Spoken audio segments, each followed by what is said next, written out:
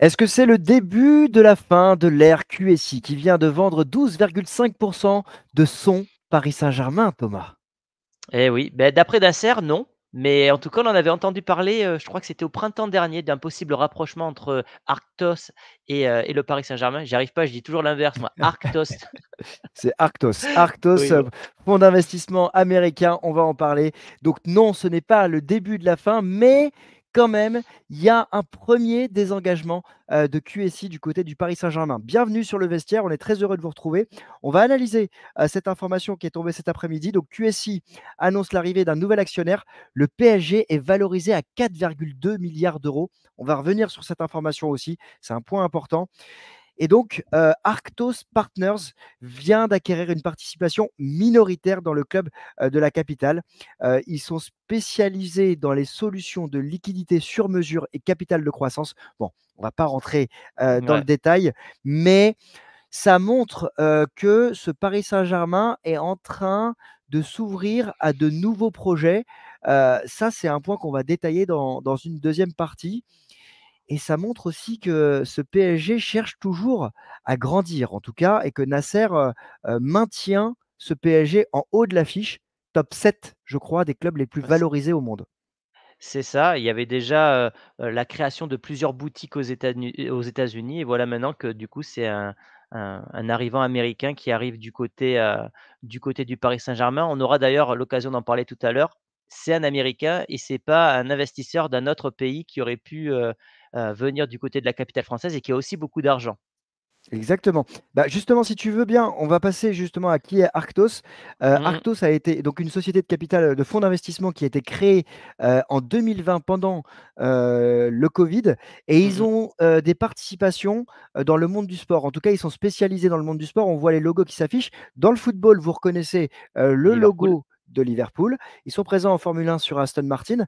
Ils sont présents dans le baseball avec les Dodgers un club que le propriétaire de l'Olympique de Marseille connaît bien, puisque Exactement. c'est lui qui l'a revendu. Et j'ai vu tout à l'heure passer, donc là on a vu les Kings de Sacramento en basket. Et si je ne me trompe pas, j'ai aussi vu euh, le club de basket de Los Angeles. euh, il y a les Utah Jazz. Donc voilà, Ouais, on donc sent on est on est quand même, sur, un investisseur, multi-club, multisport dans plein de domaines quoi là et sur, au moins 10 franchises, exactement. On parle de 16, 16 franchises au global 16 de leur investissement. Voilà, les Warriors Golden State, c'est pas Los Angeles, c'est San ouais. Francisco. Hem, le point aussi important, c'est que alors on parle de valorisation. Alors c'est un sujet qui me qui me qui me plaît particulièrement pour avoir bossé dans le marketing sportif pendant plusieurs années. C'est des sujets économiques qui ont toujours un lien à in fine avec le le football et le terrain. Donc évidemment. c'est, toujours amusant. Heu, on parle de, heu, une valorisation à 4,2 000 d'euros et en fait, pour racheter les 12,5% des parts du Paris Saint-Germain, si on veut schématiser, ils ont investi 500 millions d'euros. 500 millions d'euros, c'est Ouais. plus ou moins 8 fois ce que le PSG, ce que le Qatar a mis pour racheter le PSG à des Américains déjà à l'époque à Colonie Capital. Quand même, il y a un beau pied de nez qui est fait euh, actuellement parce qu'ils avaient racheté autour entre 50 et 70 millions d'euros en Ah 2011. bah là, la la la plus-value est énorme c'est énorme quand même. Bon et surtout le vestiaire qui voulait investir au Paris Saint-Germain, bon on va on va revoir nos ambitions à la baisse. On a on n'a pas encore ce montant-là. Non, non, non, non. Je Heu, nous le je souhaite. puis, je nous le souhaite un jour peut-être, mais heu, il va falloir un peu plus, heu, d'abonnements et de partenariats, mon cher Thomas. C'est ça, c'est ça.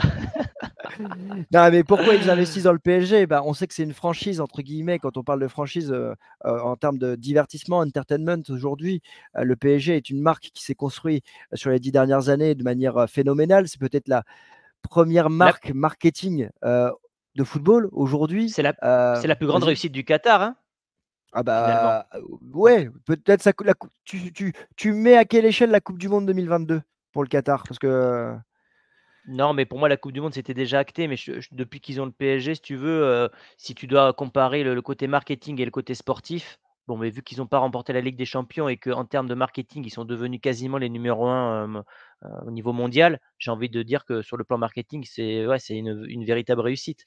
ouais, tiens, j'ai une slide à te partager justement sur les revenus du Paris Saint-Germain qui ont qui ne font, heu, que croître depuis, heu, plusieurs années. Au niveau marketing, on voit les revenus à Essaye de zoomer un peu si tu peux.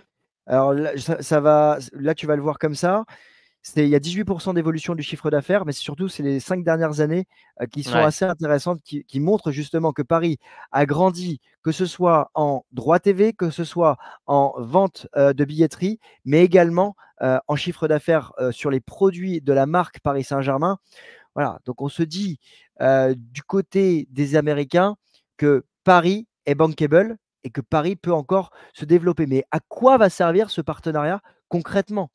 On peut se poser la Bah question aussi. Bah, tu penses quoi? parce que, bah, moi je me je me pose la question parce que je me dis: «S'il y a bien, un pays qui a pas besoin d'argent, bah, c'est le Qatar, en fait». Pourquoi ils ont besoin d'un investisseur qui va venir mettre 500 000 000? Si ce n'est, comme tu l'as dit tout à l'heure, pour montrer que maintenant le PSG ça vaut tant et qu'on de 12-12 du club, ça équivaut à 500 000 000 et ça montre aussi d'un certain côté la force et l'évolution de ce Paris Saint-Germain sur les 10 dernières années. Heu, comme ça, heu, je suis assez surpris moi, j'ai pas trop de j'ai pas trop d'idées en tête comme ça. Eh bien, mon cher Thomas, ça montre qu'on a bien travaillé parce que j'ai des réponses à t'apporter Ah! à ce sujet. Heu, eh a oui. évidemment, c'était la question qu'il fallait poser. Bah, évidemment, il y a un élément qui est en en en ligne de mire, heu, on va on va se projeter vers le se projeter pardon, vers le futur, 2026, la coupe du monde 2026 et c'est un développement économique aussi pour ce Paris Saint-Germain. Parce que, heu, aujourd'hui, on voit le Paris Saint-Germain pouvoir réaliser, des tournées, dans les pays asiatiques. Là, ils vont peut-être aller chercher un nouveau marché qui n'est pas émergent, mais qui se Mmh mh. développe grandement autour du football, les États-Unis, le Canada. Il y a aussi, un lien, je trouve, peut-être tiré par les cheveux, mais ce lien avec Nike, les, Arctos qui est donc un fonds d'investissement américain, Nike, équipementier américain, O'Neill qui est un, une marque, un lune un lunetier américain, entre autres, qui est partenaire de Kylian Mbappé. Est-ce qu'on n'est pas ici en Mmh train de construire aussi une relation pour dire à Kylian Mbappé: «Regarde, la marque Kylian Mbappé peut se développer aussi du côté des ouais. Américains à travers le Paris Saint-Germain»?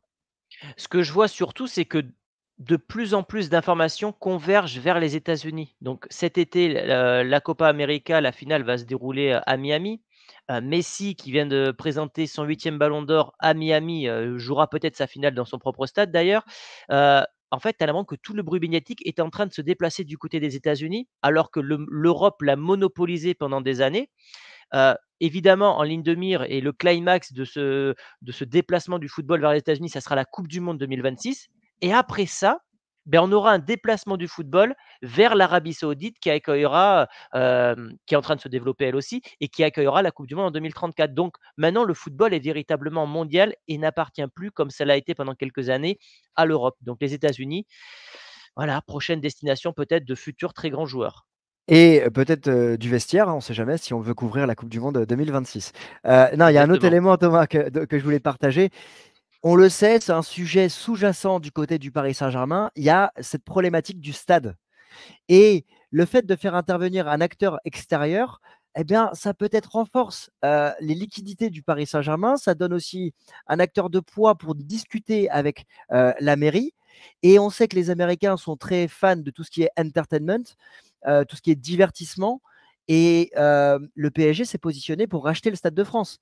Est-ce qu'il y a pas une promesse de développement à travers le Stade de France qui est en train d'être réalisée en se disant: «Bah, on a un acteur américain qui, lui, sait se développer, heu, dans, heu, le divertissement, qui a une place, heu, dans, le sport aujourd'hui». Si tu es propriétaire de ton stade et que demain ton stade il est, multisport, j'imagine, je ouais. je me projette et ben, peut-être que tu vas me faire venir voir des matchs de basket, au Stade de France et c'est la marque Paris Saint-Germain qui grandirait peu également. C'est un peu l'avenir des nouveaux stades. C'est ce qui va se passer du côté de Madrid et du Santiago Bernabéu. Ils vont accueillir des concerts, des matchs de basket, de NFL, de tennis et cetera. Mais, hem, je suis un peu perdu moi sur les infos du stade. Je crois que c'était Daniel Riolo sur RMC qui disait qu'apparemment le PSG, heu heu, n'achèterait pas le Stade de France. On on sait pas s'ils veulent, négocier le Parc des Princes et que c'est pas une une espèce de forme de chantage d'aller vers le Stade de France. Mais en tout cas, peut-être que l'arrivée d'un nouveau partenaire va accélérer ce processus. Ça, c'est clair. En tout cas, il y a aussi un élément qu'on ne peut pas occulter, le 3e point et heu, c'est vrai que c'est pour répondre à cette question, heu, on peut voir ça aussi sous un angle il y a un certain désengagement de la part de QSI. Ta question, elle est parfaite. C'est, heu, ils ont enfin le QSI a tellement d'argent, à un moment, pourquoi ils revendent? Et c'est vrai que, bah, on peut se dire aussi, naturellement, tu fais rentrer, un loup dans ta bergerie, heu, il prend 12,5% des parts, tu prends 500 millions, tout le monde est gagnant. Mmh Il a mh. un droit de regard sur la suite et sur le développement du club. Il peut justement, mmh, recommencer à observer et au petit à petit, tu peux avoir Grignoter des parts. voilà, d'ici 2028, d'ici 2030, un Paris Saint-Germain qui, heu et on n'a pas parlé de la de la Super League, mais un Paris Saint-Germain, un QSI qui se désengage et de l'autre côté, un Arctos qui devient de plus en plus fort et prend une part, majoritaire. Exactement et puis comme par hasard, ça arrive après, le climax de l'ère, Qatar, c'est-à-dire après le la coupe du monde qui s'est déroulée au Qatar en 2022, tu vois? Ça n'est pas arrivé avant, ça arrive après et on savait que l'objectif final du Qatar, c'était qu'à travers le PSG, on ait une visibilité et un bruit médiatique vers leur pays. Maintenant que cet évidemment. événement mondial est passé, heu, beh, ça confirme peut-être un certain désengagement par rapport à toutes les rumeurs qu'on avait lues et entendues sur après la coupe du monde, le Qatar va quitter le PSG. Bah, c'est en train d'arriver petit c'est en train d'arriver petit à petit. Alors ce ce n'est que 12 enfin 12,5 mais peut-être que dans 5-10 ans, ça sera 27-30% et peut-être que dans 15 ans, bah, heu, le Qatar ne sera plus, heu, majoritaire au Paris Saint-Germain. Mais en tout cas, c'est assez amusant, heu, ou intéressant d'observer, heu, ce monde économique autour du football. QSI qui investit le Paris Saint-Germain en 2011 en vue de sa coupe du monde en 2022. Arctos qui investit le Paris Saint-Germain, lui, dans une autre mesure, dans une autre force, mais il y a évidemment en ligne de mire cette coupe du monde 2026. Est-ce qu'il y aura un investisseur saoudien qui arrivera en France pour sa coupe du monde 2034? C'est une Mmh. question. On sait que le sujet fait grand bruit, du côté, de Marseille. On sait que ça a été éludé du côté de Julien Fournier cette semaine, dans l'after foot RMC. C'est un sujet sur lequel j'ai que que j'ai évoqué maintes fois autour, de la vente potentielle de l'Olympique de Marseille. En tout cas c'est vrai que la France est un territoire d'investissement. On a étudié aussi, nos amis de, Blue, qui, heu, qui avaient, heu, investi du côté de Strasbourg à travers Chelsea. Exactement. Bah, on aura plein de multipropriétés à terme. Mais, c'est intéressant que tu parles de l'Arabie Saoudite parce qu'effectivement, comme je le disais en début de vidéo, bah, le PSG, en fait, quitte à avoir un investisseur qui a beaucoup d'argent, ils auraient pu se diriger vers l'Arabie Saoudite qui est en train d'absorber tous les plus gros événements du du sport mondial. On l'a vu, récemment avec, Tyson Fury contre Ngannou et finalement, bah, non, ils se sont dirigés vers les États-Unis. Donc on voit aussi qu'ils ne voulaient peut-être pas, faire de cadeau à à un ennemi ou à un ancien ennemi géo géopolitiquement, si tu veux. Donc C'est vrai qu'il y a eu y y a un un rapprochement lors du mondial, Ouais. l'hiver dernier. Après voilà, c'est et puis est-ce que l'Arabie Saoudite est réel se aurait été réellement intéressée par une marque qui est autant développée que celle du Paris Saint-Germain? J'en doute. Je pense que l'Arabie Saoudite a envie de se développer, sur, des clubs qui peuvent demain avoir un vrai potentiel. En tout cas un potentiel plus grand. C'est-à-dire que le le le potentiel du PSG il y a 12 ans était bien plus grand qu'il ne l'est aujourd'hui, même s'il leur manque ouais, ont toujours la Ligue des Champions. Oui, oui, mais je je vois ce que tu veux dire. Tu veux dire qu'ils peuvent ils pourront pas autant développer le Paris Saint-Germain qu'ils peuvent le faire, par exemple, du côté de de de la D'un de n'importe quel club, de d'un n'importe quel club. Je Peut-être des je Girondins de Bordeaux, hein, qui sont d'ailleurs, heu, en lice pour, heu, peut-être descendre en en en national. Ouais, ça c'est ouais, c'est compliqué chez vous. Heu, mais ce qui est aussi intéressant, c'est de voir qu'à Lorient, on a un propriétaire, enfin un investisseur américain.